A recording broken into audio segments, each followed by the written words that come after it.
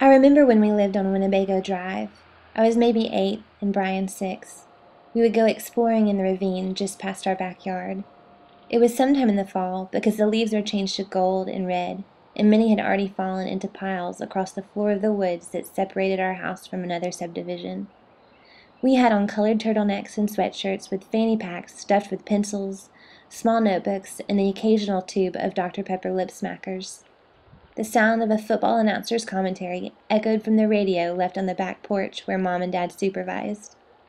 We were setting out to explore the ravine, the dangerous hill that never returned our wayward bouncy balls.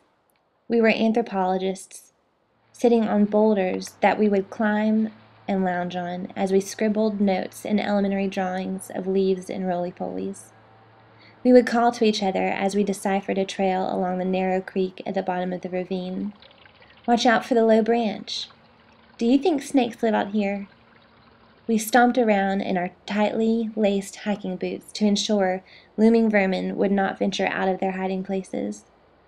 I remember thinking how important the woods were. Even the giant rocks we sat on, the high view they gave us of the creek. The trickling water looked like a vein from that height.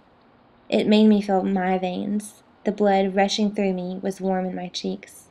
The two of us sat in silence, not because we planned to, or because we were mature enough not to yell at the ravine to have it echo back at us.